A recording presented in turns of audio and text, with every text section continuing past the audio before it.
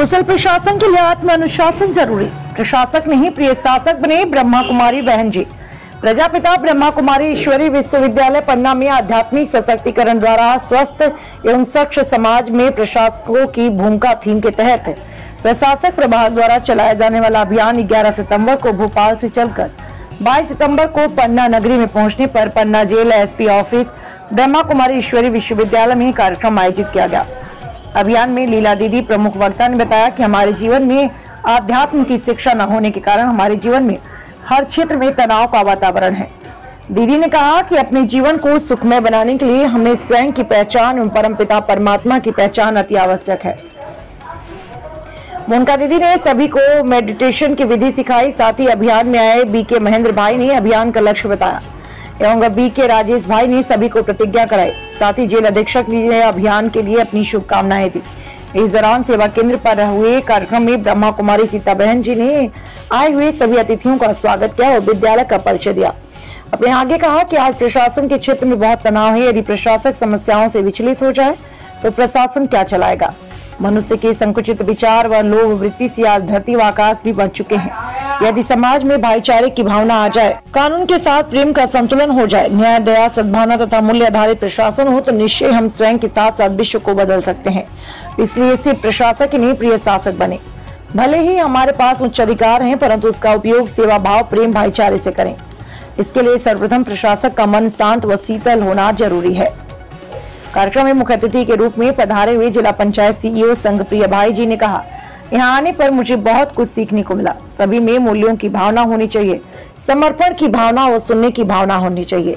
कार्यक्रम में S B Singh, संभागीय लेखाधिकारी श्रीमती निशा जैन, पूर्व प्रचार श्रीमती मंजूलता जैन आदि लोग उपस्थित रहे।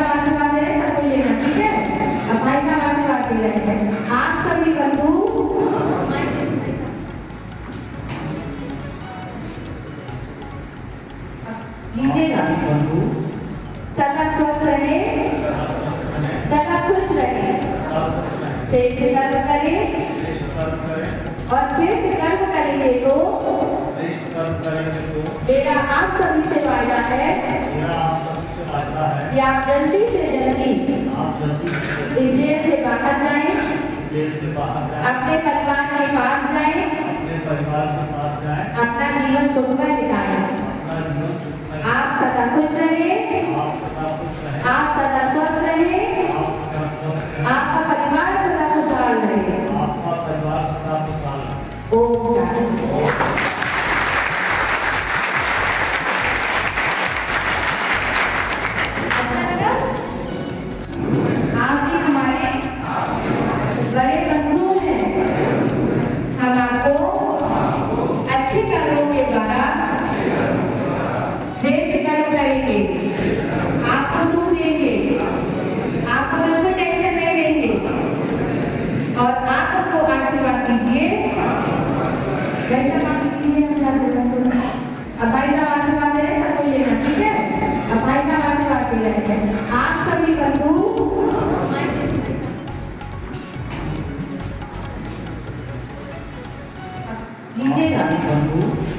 सदा स्वस्थ रहे। सदा खुश रहे। श्रेष्ठ कर्म करें। और श्रेष्ठ कर्म करेंगे तो मेरा आप सभी